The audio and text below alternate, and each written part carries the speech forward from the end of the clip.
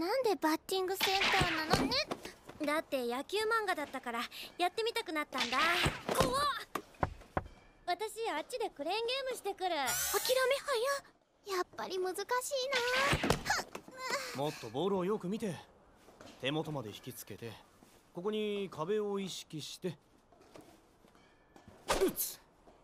な手元まで引きつけて。壁を意識して